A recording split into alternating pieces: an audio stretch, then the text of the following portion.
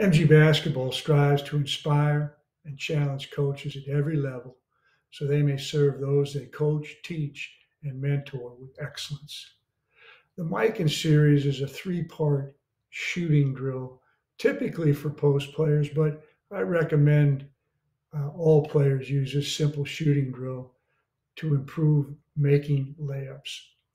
The three parts of the drill are front Mikan, reverse Mikan, combo Mikan. We encourage players to execute this drill in threes using a big ball, a heavy ball, and a regular ball. Using each ball, shoot 10 layups in front, 10 reverse layups, and 10 combo layups, or two front and then two reverse, uh, up to 10, 10 makes. Um, that's 30 makes per ball. That's 120 makes for the drill. This drill should take about three minutes and it's continuous uh, from the front Mikan to the reverse Mikan to the combo Mikan.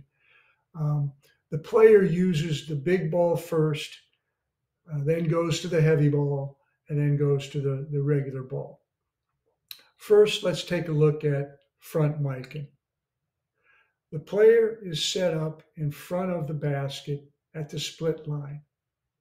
The player shooting alternates making a left handed layup, jumping off the right foot, and then takes the ball out of the net and shoots a right handed layup, jumping off the left foot.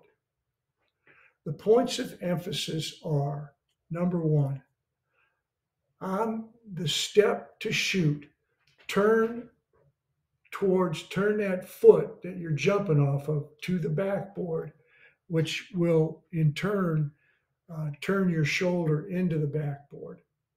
All right, so step with the right, shoot with the left, step with the left, shoot with the right. You want to turn that foot towards the backboard. Take the ball from the chin, number two.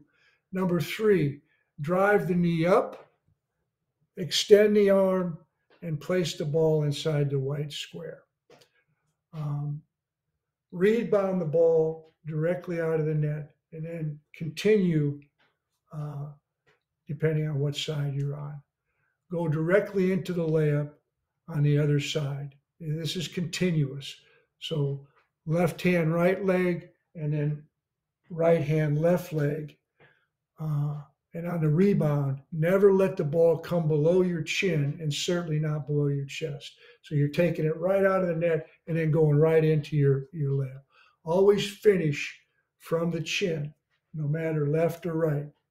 If you miss, rebound the miss as if it were a game and continue until you've made the 10. Now let's look at reverse Mikan. The only difference is the player shooting is facing out from under the goal. And so he'll he will step, everything is the same. All right. Left hand, right foot, and then right hand, left foot. But he's he's stepping out from under the goal. Um, taking the ball from the chin, uh, you're taking it out of the net. Uh, you're driving that knee up. You're extending the arm. You're placing the ball inside that white square. You're trying to get up high. So really drive the knee, extend the arm, place the ball inside the white square. Now let's look at the combo Mikan. Standing in front of the goal again, the player now makes two front, and then now he's under the goal facing out. He'll shoot two reverse. So he's going to shoot two front, two reverse, two front, two reverse to 10 makes. Um, again, we're, we're making 10 front, 10 reverse, 10 combo. The goal is 120 makes in a row. Um, and should only take you about three minutes to do, four tops.